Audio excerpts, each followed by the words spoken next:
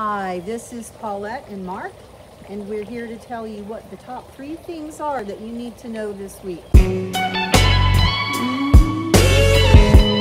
Um, my name's Mark, and it's my wife Paulette. We've been coming here for about two or three years.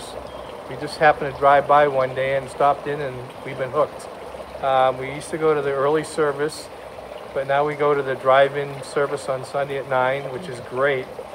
Kind of, kind of fun. We own a little coffee shop out in Okeechobee. I think that's about about it. So here are the briefings. Number one, we are open. Please be sure to register on our website for any of the seven services throughout the week and the weekend. Our staff has worked hard to make sure that you are completely safe coming to church.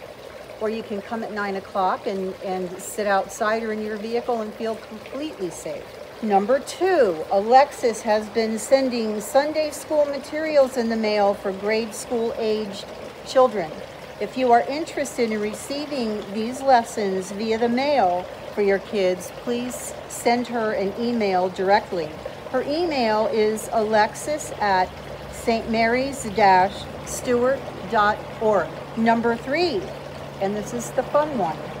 Next weekend, we will be holding our fall kickoff for all services over the weekend. This means we want you to wear your favorite sports jersey to the service that you attend and even decorate your cars for the 9 a.m. drive-in service. Uh, everything but Patriots, please. I'm kidding.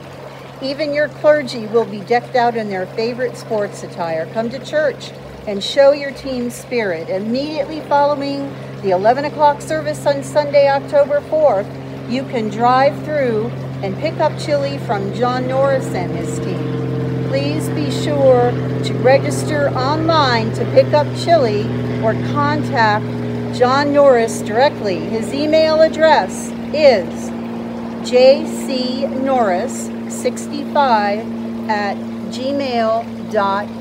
Those, Those are the top three things you need to know. You guys- Bye.